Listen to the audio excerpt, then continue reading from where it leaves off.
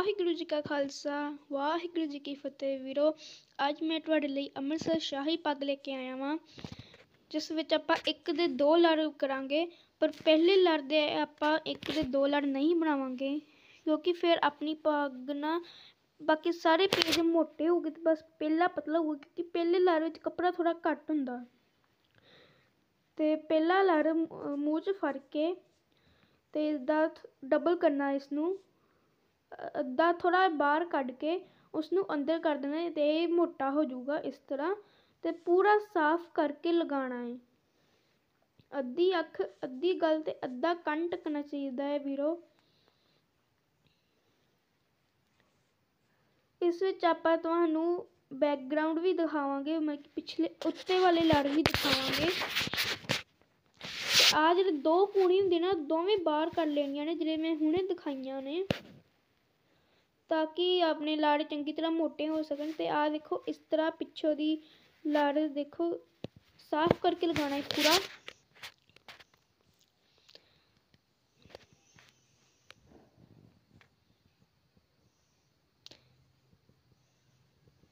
ਦੋ ਲੜ ਪਤਾ ਆਪਾਂ ਪਿੱਛੋਂ ਹੀ ਬਣਾ ਲੈਣੇ ਜਿਹੜੀ ਆਪਣੀ ਸੱਜੀ ਅੱਖ ਹੁੰਦੀ ਹੈ ਨਾ ਸੱਜੀ ਅੱਖ ਉੱਥੋਂ ਸਟਾਰਟ ਕਰਨਾ ਹੈ ਪਿੱਛੋਂ ਦੀ ਸਟਾਰਟ ਕਰਨਾ ਹੈ, ਅੱਗੇ ਨਹੀਂ ਸਟਾਰਟ ਕਰਨਾ ਹੈ, ਤੇ ਪਿੰਚ ਦੇਖ ਲਓ, ਤਿੰਨ ਉਂਗਲ ਦੀ ਮਦਦ ਨਾਲ ਕਰਨਾ ਹੈ, ਅੰਗੂਠਾ ਪਹਿਲੀ ਤੇ ਦੂਜੀ ਉਂਗਲ ਨਾਲ ਕਰਨਾ ਹੈ, ਤੇ ਸਾਰੇ ਪੇਜ ਇੱਕੋ ਜਗ੍ਹਾ ਤੋਂ ਨਿਕਲਣੇ ਚਾਹੀਦੇ ਨੇ।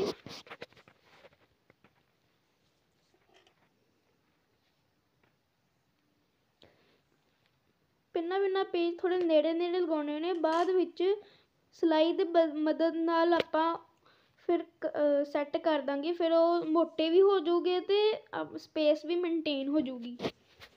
ਤੇ ਆ ਲੜ ਥੋੜੇ ਉੱਤੇ ਨੂੰ ਖੋਲ ਕੇ ਲਾਉਣੇ ਨੇ ਤਾਂ ਕਿ ਸਪੋਰਟ ਬਣਿਆ ਰਵੇ। ਅਗਲੇ ਅੱਗੇ ਜਿਹੜੇ ਪੇਚ ਆਉਣੇ ਨੇ, ਉਹਨਾਂ ਦਾ ਸਪੋਰਟ ਬਣਿਆ ਰਵੇ।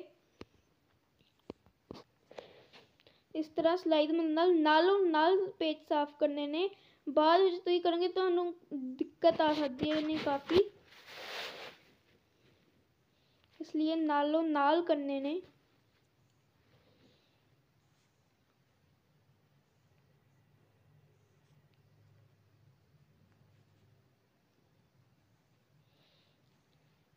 ਲੜ ਲਗਾ ਕੇ ਘੁੰਮ ਜਾਣਾ ਹੈ। ਤੁਸੀਂ ਖੁਦ ਘੁੰਮਣਾ ਹੈ, ਪੂਣੀ ਨੂੰ ਨਹੀਂ ਘੁਮਾਉਣਾ। ਇਸ ਤਰ੍ਹਾਂ ਫਿਰ ਪੱਗ ਦੀ ਪੂਣੀ ਖਰਾਬ ਹੋ ਸਕਦੀ ਹੈ।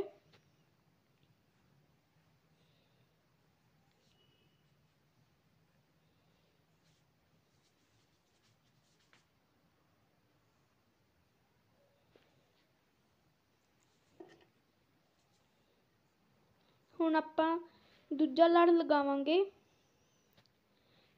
ਇਸ ਵਿੱਚ ਵੀ ਆਪਾਂ ਦੋਵੇਂ ਪੂਣੀਆਂ ਬਾਹਰ ਕੱਢ ਲੈਣੀਆਂ ਨੇ।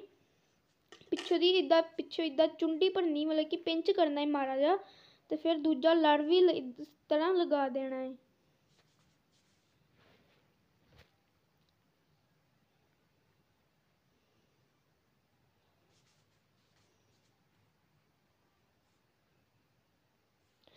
ਪੂਰੇ ਚੰਗੀ ਤਰ੍ਹਾਂ ਸਾਫ਼ ਕਰਕੇ ਲਗਾਉਣੇ ਨੇ ਵੀਰੋ ਲੜ ਸਾਰੇ।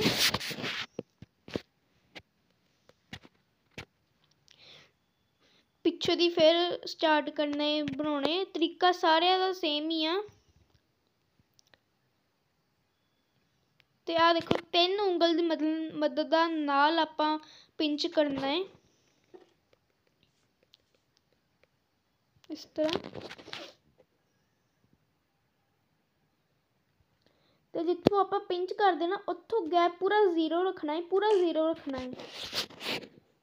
ਕਿਉਂਕਿ ਫਿਰ ਜੇ ਆਪਾਂ ਜ਼ੀਰੋ ਨਹੀਂ ਰੱਖਾਂਗੇ ਤੇ ਤੁਹਾਡੀ ਪੱਗ ਤਾਂ ਨੂੰ ਸਾਰੀ ਚੜ ਜੂਗੀ। ਇਸ ਤਰ੍ਹਾਂ ਨਹੀਂ ਆਪਾਂ ਹੋਣ ਦੇਣਾ।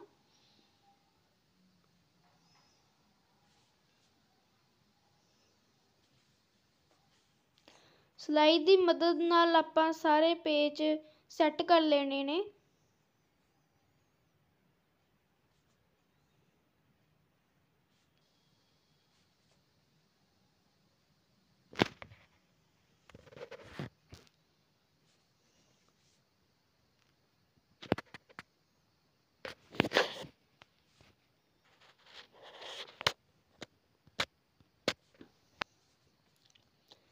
ਸਾਰੇ ਇੱਕ ਵਾਰੀ ਸਾਫ਼ ਕਰ ਲੈਣੇ ਨੇ ਲਾੜ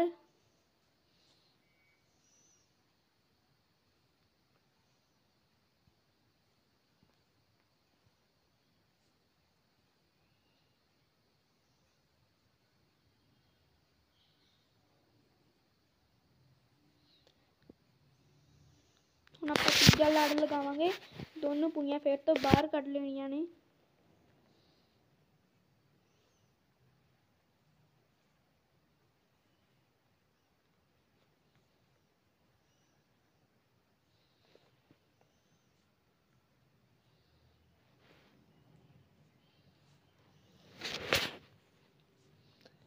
ਸਾਰੇ ਲੜਾਂ ਦੇ ਆਪਾਂ ਦੋ ਲੜ ਬਣਾਉਣੇ ਨੇ, ਬਸ ਪਹਿਲੇ ਤੇ ਆਖਰੀ ਲੜ ਦੇ ਨਹੀਂ ਬਣਾਉਣੇ, ਕਿਉਂਕਿ ਇਹਨਾਂ ਵਿੱਚ ਕੱਪੜਾ ਘੱਟ ਹੁੰਦਾ ਹੈ। ਫਿਰ ਇਹਨਾਂ ਵਿੱਚ ਜੇ ਆਪਾਂ ਬਣਾਵਾਂਗੇ, ਫਿਰ ਇਹ ਪਤਲੇ ਜਿਹੇ ਰਹਿ ਜੂਗੇ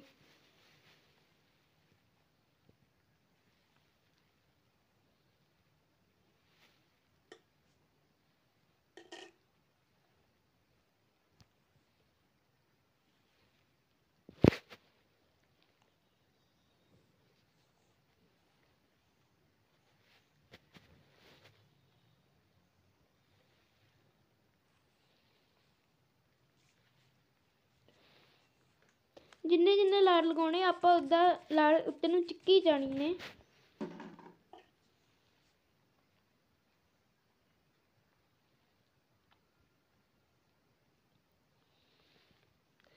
ਬਾਕੀ ਡਿਪੈਂਡ ਤੁਹਾਡੀ ਪ੍ਰੈਕਟਿਸ ਤੇ ਜਿੰਨੀ ਤੁਸੀਂ ਪ੍ਰੈਕਟਿਸ ਕਰੋਗੇ, ਓਨੀ ਵਧੀਆ ਤੁਸੀਂ ਸਜਾ ਸਕੋਗੇ ਪੱਗ।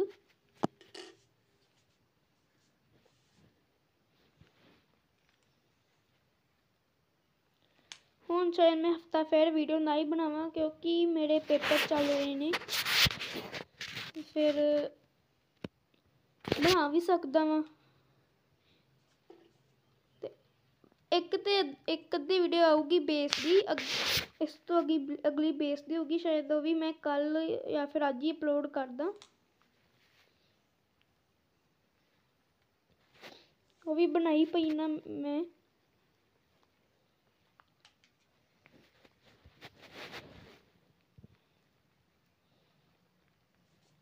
ਹਜੇ ਦੇਖ ਲਓ ਆਪਣਾ ਸੈਂਟਰ ਨਹੀਂ ਆਇਆ ਕਿਉਂ ਇੰਨੀ ਇਸ ਨੂੰ ਵੀ ਆਪਾਂ ਐਂਡ ਵਿੱਚ, ਸੈਂਟਰ ਵਿੱਚ ਕਰਾਂਗੇ ਆਪਣੀ ਪੱਗ ਨੂੰ। ਹੁਣ ਆਪਾਂ ਚੌਥਾ ਲੜ ਲਗਾਵਾਂਗੇ।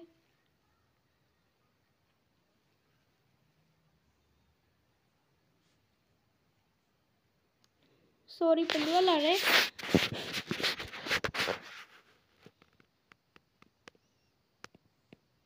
ਇਸ ਤੇ ਆਪਾਂ ਇੱਕ ਹੀ ਲੜ ਬਣਾਵਾਂਗੇ, ਤਾਂ ਕਰਕੇ ਇਹ ਸਿਰਫ 8 ਲੜਾਂ ਵਾਲੀ ਪੱਗ ਹੈ।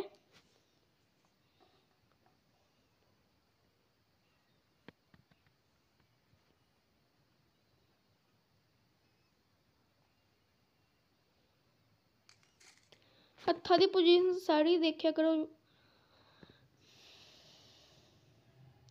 ਇਸ ਤਰ੍ਹਾਂ ਆਪਾਂ ਪਿੰਚ ਕਰਨਾ ਹੈ ਤੇ ਲੜ ਨੂੰ ਫਿਰ ਇੱਕ ਵਾਰੀ ਖਿੱਚ ਕੇ ਫਿਰ ਤੋਂ ਪਿੰਚ ਕਰਨਾ ਤਾਂ ਕਿ ਚੰਗੀ ਤਰ੍ਹਾਂ ਸਾਫ਼ ਹੋ ਜਾਏ ਲੜ।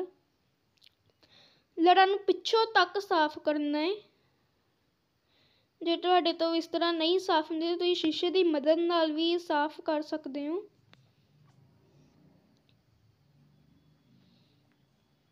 ਇਸ ਨੂੰ ਆਪਾਂ ਚੌਥੇ ਲੜ ਦੇ ਨਾਲ ਹੀ ਲਗਾਉਣਾ ਹੈ। ਫਿਰ ਆਪਾਂ ਬਾਜ ਦੀ ਬਦਲ ਨਾਲ ਆਪਾਂ ਉੱਤੇ ਨੂੰ ਕਰ ਦਾਂਗੇ।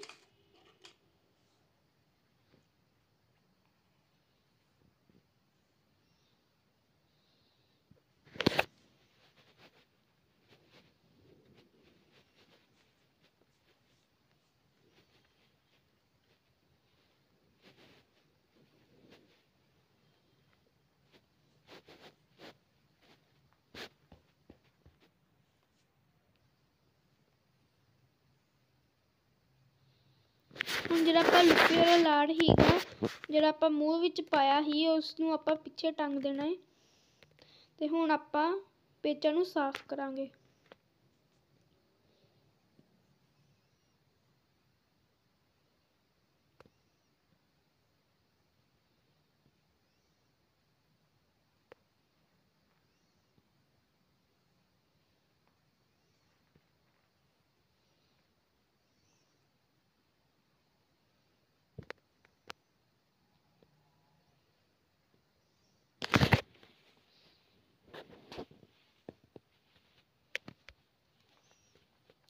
ਆਪਾਂ ਪੱਗ ਦਾ ਸੈਂਟਰ ਲਿਆਵਾਂਗੇ, ਇਸ ਤਰ੍ਹਾਂ ਹਲਕਾ ਜਿਹਾ ਪੱਗ ਨੂੰ ਨਾ ਖਿਸਕਾ ਦੇਣਾ ਹੈ ਫਿਰ ਤੁਹਾਡਾ ਸੈਂਟਰ ਆ ਜਾਏਗਾ।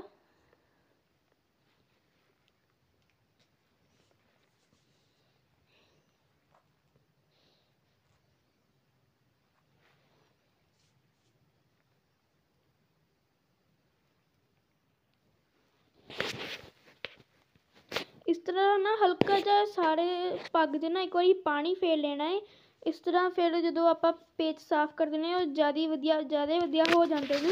ਜੇ ਤੁਹਾਡੇ ਤੋਂ ਇਦਾਂ ਦੀ ਸਪਰੇਅ ਹੈਗੀ, ਤੁਸੀਂ ਆਏ ਇਦਾਂ ਮਾਰ ਸਕਦੇ ਜੇ ਨਹੀਂ ਹੈਗੀ, ਹੱਥਾਂ ਵਿੱਚ ਪਾਣੀ ਲੈ ਕੇ ਨਾ ਪੱਗ ਵਿੱਚ ਪਾ ਦੇਣਾ।